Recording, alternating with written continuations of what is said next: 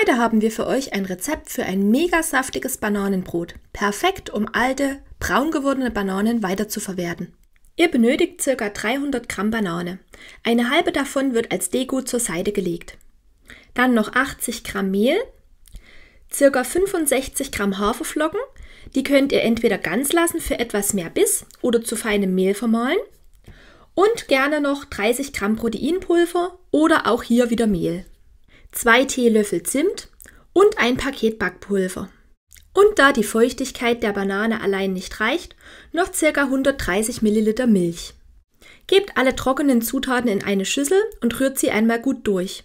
Wenn ihr möchtet, süßt gerne noch mit etwas Zucker oder in meinem Fall mit etwas Vanilleflavorpulver. Jetzt kommen entweder zwei Esslöffel fertige Erdnussbutter oder 15 Gramm Erdnussbutterpulver mit einer entsprechenden Menge Wasser vermischt zu den trockenen Zutaten.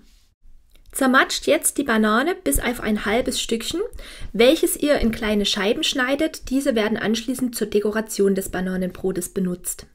Gebt den Bananenbrei und die Milch auch noch mit zu unseren anderen Zutaten und rührt das Ganze gut durch, bis ein geschmeidiger Teig entstanden ist. Jetzt kommt die Masse in eine Kastenform von 25 cm Länge, wird mit den Bananenscheiben dekoriert und wandert für 40 bis 45 Minuten bei 170 Grad Umluft in den Backofen.